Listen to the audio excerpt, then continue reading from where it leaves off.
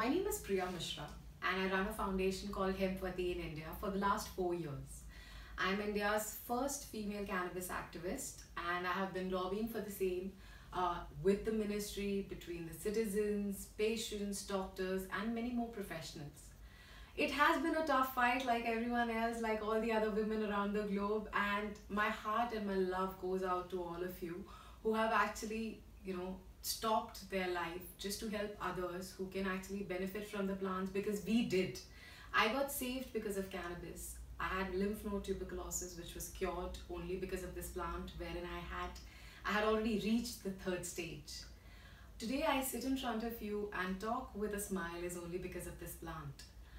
Indians have always considered cannabis as something which is pure, something which is sacred because their ultimate god, Shiva, who is known as Mahadev, which literally means the god of the gods. It's his favorite plant. You cannot do any ritual or any puja of this particular god without having cannabis leaves on it. Our, our scriptures like Ayurveda not just talk about the plant but sing glories of it. The Sanskrit name of cannabis is Vijaya. Vijaya means the one who's victorious, the one who's never defeated. Isn't it true for cannabis as well? We have over 50,000 uses of this particular plant. I am hoping that more and more people would get up, more and more women would get up because cannabis is known as a female plant, right? The ones which give the buds and move on.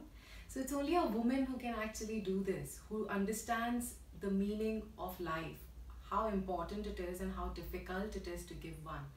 And hence, the people who are trying to monetize, just like in India, for the past four years, the medicines haven't come into mainstream is not because of other pharmaceutical companies or because uh, the ministry is not helping or the government is not helping. They all are very helpful if you give them the information. For the past four years, they have been put in the dark and said that no, um, we still need to research more if cannabis can be helpful or no. Now, I really want to ask these people uh, how about the first world countries who have spent uh, over 300 to 500 billion dollars on the research with over lakhs of patients uh, who have not just recovered, cured, healed, but are helping further? Well, just like uh, all the other women around the globe, I have had my share of difficulties. Fortunately, not with the system. The system has been very helpful in understanding how it can be done.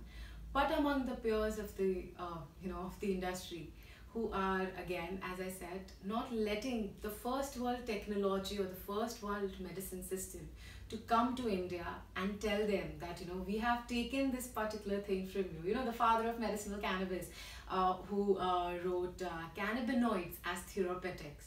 The first entire chapter is dedicated to india. Why is that? Well because in our systems in our scriptures in our uh, you know religious sacrament everywhere our uh, being would be incomplete without this particular plant. And yet, we sit over here with uh, just a few states, just a couple of them that I can count on one hand, uh, being legal for medicinal and industrial purposes. I'm hoping the people who are barring it would come forward and tell uh, the reason or give the reason why they are doing uh, the same having said that i won't give up my fight just like all of you and uh, i send a lot of uh, love and uh, big hug to all the women out there who are fighting for this particular plant. The first paper was made out of it. The first cloth was made out of it. Women were the first one who were clothed weren't we? So in that case we definitely owe a lot more to the plant. The plant has always uh, been, you know, the plant has always been considered uh, very sacred, as I told you in the Indian culture. Until the 1900s, we had, you know, we had cannabis growing everywhere in our sewages, in our backyard, and no one really bothered. For a simple fact, people used to use it when they had fever, when they had stomach ache, when they had diarrhea, when they had tetanus toxins in their body, when they had tuberculosis, all the therapies or all the methods to cure the same is given in Ayurveda with the help of this particular plant. Well, you know when uh, there's a uh, there's a report, there's a book called British Hemp Commission report which was made in India in the late 1800s. That is the time when they wanted to launch allopathy and English alcohol. you know the the imported liquor when uh, you know when uh, a person who uh, is wanting to introduce chemicals in a country what do they go after the first thing? The most organic thing that will actually put an end to all of that. That was this particular plant and that very clearly is written in the 3500 pages book as well. You can go and download it yourself and read it. I did and my eyes opened because in that report as well all the doctors and everyone said that though they were scared for the sanity of uh, indians by using this particular plant but they forgot that all our scriptures have already given the evidence that whatever we got you know this was a very important part as well. Uh, one of the you know one of there are a lot of legends about the existence how this plant came into existence.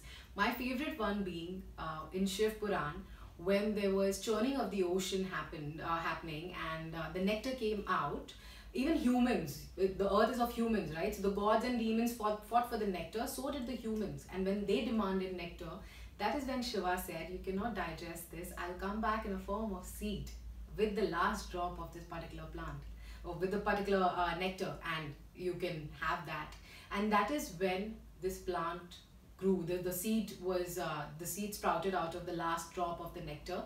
And at that particular time, obviously it was the era of the gods. The plant grew up instantly and he pulled the leaves and he started putting it on his neck. Why? Because he had just drank halahal, which is actually the poison which came out before the nectar. So my point over here is something which is so in sync with our history, with our culture, with our civilization, with our health system why is it that it was taken away? Just because we could grow it in our backyards and save ourselves, our land, our animals and everyone. Well, I'm hoping that this video opens up your eyes and probably you would also become one of the voices of cannabis just how we all are. Namaste.